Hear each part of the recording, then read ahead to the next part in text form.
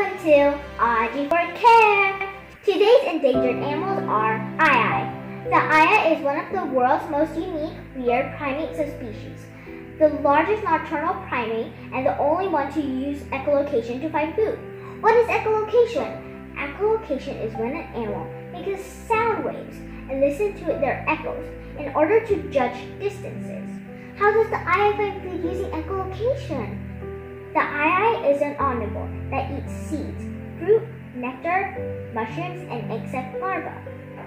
It spends 80% of the night searching for food in the canopy. Between 5 to 41% of the aye's foraging time is spent on a behavior called percussive foraging.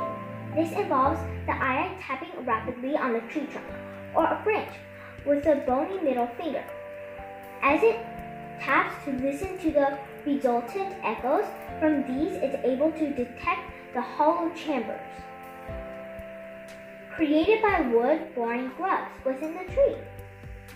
When the aye successfully locates its prey, it chews a hole into the wood with its sharp teeth and slips its thin middle finger under the bark to draw the grub out.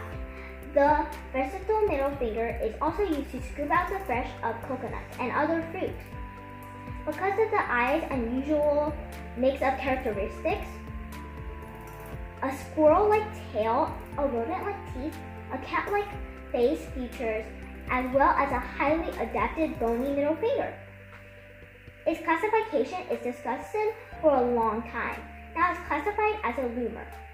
The aye is only found on the on Madagascar, an African island situated in the Indian Ocean off the east coast of the continent. The aye's fingers are long and have sharp pointed claws. The bony middle finger of the four paws is noticeably thinner than the others. Like a human shoulder, it has a ball and socket joint, giving it a wide range of movement.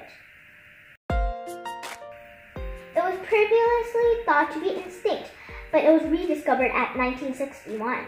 Although the actual population of size is, of the species is unknown, it's estimated that the population has declined more than 50% of the last three generations, and it's likely to continue to decline. The aye remains an endangered species, not only because its habitat is being destroyed, but also due to the native superstition. Ancient Malagasy legend said that the aye has a symbol of death, with some believing its mere appearance predicts the death of a villager. Even currently, many Malagasy people think it's a bad omen to see an aye. as it has led to the species being desperately hunted. Oh, no way! Don't judge a book by its cover! Thank you for watching my video. The more you share, the more people will care. Thank you for watching my video. I like to end this video with my favorite quote from Audrey Hepburn. You have two hands. One for helping yourself, the other for helping others. Bye bye. Bye bye y'all.